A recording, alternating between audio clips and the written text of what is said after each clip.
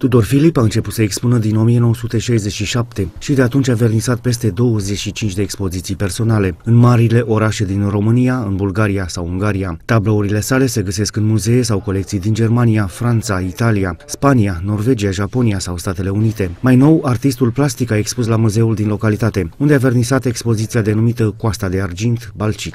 Expoziția pictorului Tudor Filip este o bucurie pentru iubitorii de artă din Giurgiu, a treia oară prezent în Galeria Muzeului Județean Teohare Antonescu, după alte două expoziții personale, de data aceasta cu o selecție predominant de pe coasta de argint a Mării Negre, recte din orașul bulgăresc Balcic.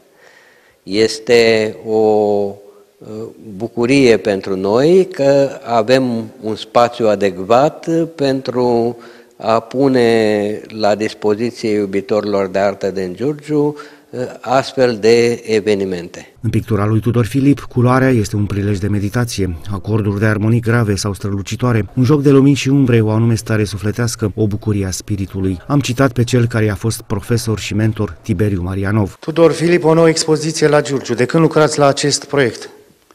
Acest proiect este conceput după expoziția din 2010, care s-a numit Balcic.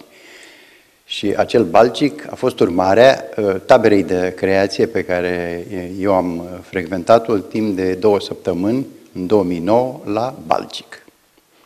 De atunci, din 2010, am început să lucrez pentru partea a doua la Balcic, care se numește, această expoziție se numește Coasta de Argint.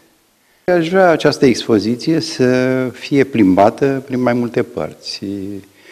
Adică aș vrea uh, mult mai amplă, la vreo 40 de lucrări care sunt în momentul ăsta gata, să meargă la uh, Muzeul Municipiului București. Asta este ca un proiect pentru, pentru ce am lucrat până acum.